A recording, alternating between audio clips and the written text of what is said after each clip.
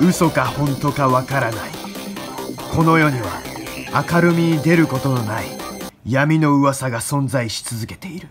あなたは信じきることができるだろうか。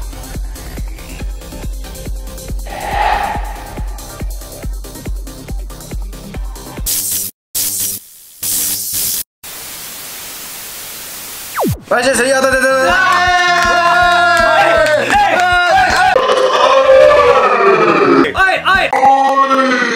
曜だで違う。みんな揃ってんの。お前だけもうね。そんなんだから金庫使えねえ本日も都市伝説に詳しいこのお方にお越しいただきました。今日も童貞です。はい。もう土手面ですよね。童貞。間違いない大童貞。今日は何の都市伝説でしょうか？飛行機に関する都市伝説を話していこうと思う。最近ゆかりが深いね。やっぱもう俺と正義とノリはやっぱ海外経験してっから。お前らと違って。Yeah! Yeah! My name is Nori 腹立つな。かぶれんじゃねえ飛行機にまつわる恐怖の都市伝説を3つ話していこうと思う3つもあるんです恐怖ですか。この話を知ったら飛行機に乗ることがトラウマになっちゃうぜって。やるじゃんえーやだよ。近々乗るしね。乗るでしょもう近々乗るよね。第1つ目。問題みたいになってね。飛行機のトイレって今全部 U 字型なんだよ知ってねます。えー知ってた体操券正義さんで工事型ですっぽりとあの圧力あるじゃん。はい。はい吸引力やばいじゃん。あれで内臓を吸われた人がいて友人になっ正解！たなんでお前らまで正解！俺だ。だ。って完璧だったもん今まあ正解ですよ。マ正解なんだよあの詳しきがあるでしょ？そうそうそう。そうまあ詳しくはね。あの補足を。は仕事だもんね。あもうプラスアルファを話させていただく。はいはいあこれが童貞の仕事なんだ。尻拭いね。トイレだけにね。年なあちょっといいんで。内臓抜くぞ。あるイギリス人がね飛行機乗ってまして昔っていうのはまあ全部王子型のトイレでさっき言った通り。なるべく飛行機の機体を軽くしようってことで最低限の水しか積んでないわけ。うん。プラスバキュームのトイレを使ってたあまあ今バキュームだね。言うてますよ。ねえ？言うてえ？言うてたなんかこっちの方でシューシュー言ってますよ。ビニールをさすってるというかへえ、まあ、バキュームのトイレを採用してたわけそれでそのイギリスの人がトイレに座ったら王だから密閉されてるわけよ密閉にされてるせいでそうなっちゃうんですそうそう有利すればさちょっと逃すじゃんそうそうそうそうっていうねまあなるほどもう9割過ぎです結構なんかでしょ嘘か本当かよくわかんないらしいまあそうだ都市伝説だねあくまでもなんか本当に都市伝説これ。うんなんか歌ってたよね。これ。うんなんか歌ってたよね。うんなんか歌ってたよね。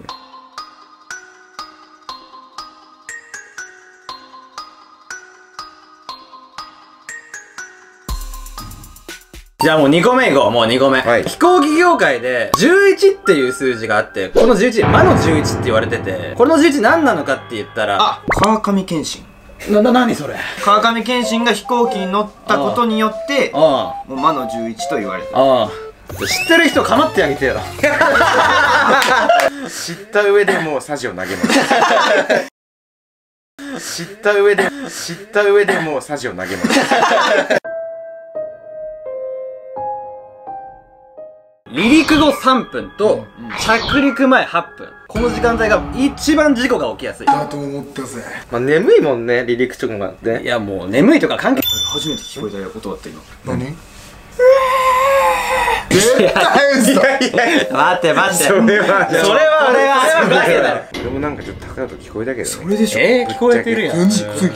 おと。それはないわ。お前ら全部嘘。だ違う違う違う強兵だもん強兵。挙兵でしょ。オベリスクの挙兵でしょ。強兵じゃねえんだない。ない。ですねでまあそのまあ離陸と着陸時はまあ事故が最も起きやすい。とここで疑問に思うことがあると思うんだけど夜にさ飛行機がフライトする時ってさ離陸の時電気消さないっすか？うん。そうね。消す消えてる。夜とあれおかしいと思う。ピンポーン、はいもう。えちょっと怖いわ。やだわ。結構都市伝説詳しいから。お？離陸に失敗した時に部屋が明るいと目が慣れてないんですよ。はいはいはい。はいおうおうおう墜落する時にいち早く目を鳴らすために暗くし正解！正解！正解！なんでお前らが言うんだよ。完璧です。他かもしれないよね。ああ正解だよ。新しいタイプの都市伝説だ。なんでわかんだよ。もし墜落して、なんかトラブルが起きて急に切れちゃったらもう一時的に暗かったら見えないわけ。だからもうあらかじめ暗くしといて慣れさせようっていう、もう同じ繰り返しだよ。正義がすごい。正義が真の童貞？そういうこと？説あるな。ドテイシお前はつかないからな。もう俺童貞だよ俺しちゃうやん。死ぬほど分かりやすいパスをもう出すか出さないかまで出してあげたんだよ。三つ目なんだけど、1989年の話で、ポルトアレグレ空港。ポルゴレ空港。あ、ポルゴレじゃないです。なんかもうお菓子の、キャンチョメのパートナーみたいになってるから。おっぱい好きじゃないですよ。あ、チンチンチンチンおっぱいパイじゃないのよ。はいよいよ完全に。全然おっぱいこの空港の管制塔っていうね、わかる？わかるわかる飛行機とかを見るところそうそうそう、飛行機とかを見て、なんか通信でコミュニケーションを図ったりする施設なんだけど、その日の予定じゃない、得体の知れない飛行機を発見したと。得体の知れない飛行機がどんどん近づいてくるから、あなた誰ですかみたいな。通信で送ったんだけど、それも無視して。で、ついには滑走路にまで降りて。で、さすがに不気味に思うわけじゃん。でそこで、あのーちょっと警察に頼んで、ちょっとあの飛行機調べてくんないかみたいなことで、依頼したわけ。で、まあ警察来てその飛行機のとこ行くんだけど、どうやらその飛行機誰も降りる様子がないと。なんだってなって、強行突破で開けて中を確認したのね。そしたら、なんと、客席全員白骨化した死体だった。いやいやいやいや待ってずで、うわーってなって、急いで操縦席行ったの。ちょっとどうなってるんだって。聞きに行ったら、パイロットも白骨化していたって。いやいやいやマジで。ないないない。どうどういう話これ？新聞にも報道されたことで。これ何なんだみたいなことになって、その飛行機のことを調べたの。どうやらこの飛行機、35年前に西ドイツから出発した飛行機だったっていう。35年前？え？そう。だから35年前に途中で消息不明になった飛行機が35年後にブラジルのドラマじゃんとこに着いたっていう。タイムスリップ？で、じゃあその新聞をね、見ていただきたいと思う。マジかその新聞をどうぞ。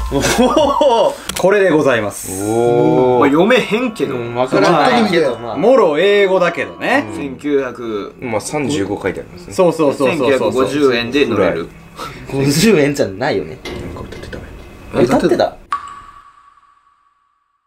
そうそうそうそうそうそう。1950円で乗れる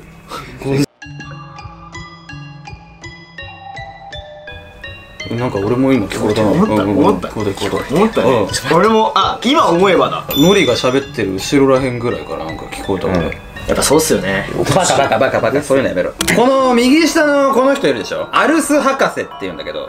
あああ知らない。IQ5 だろ。ああれが IQ5 やね群馬の県庁行ってみろお前。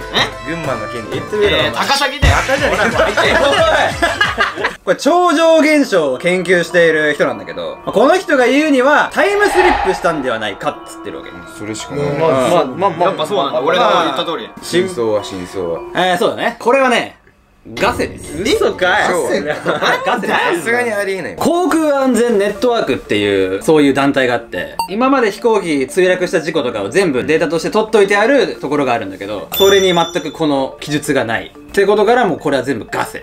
なん。でそうなんの何新聞は何何？新聞はこれマジだと思って信じた人が新聞を本当に書いちゃったわけ。誰かがあうんうんうん舐めたってこと？なめた。な、舐めた。なめた。誰かが嘘を流した。そうそうそうそうそう。誰かが流したデマを、この新聞、無理無理無理。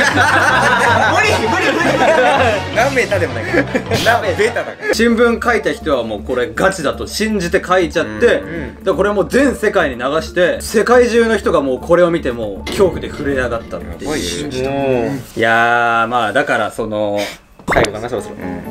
そういうのやめて。そう最後かな。そういうこと言うの？そうそう。今言っちゃそったろそろこの動画の一番大事なところだよ。ハードル上げるのやめよう。スレンダーマンもやはり架空のキャラクターだったと。うん。ああ確かに。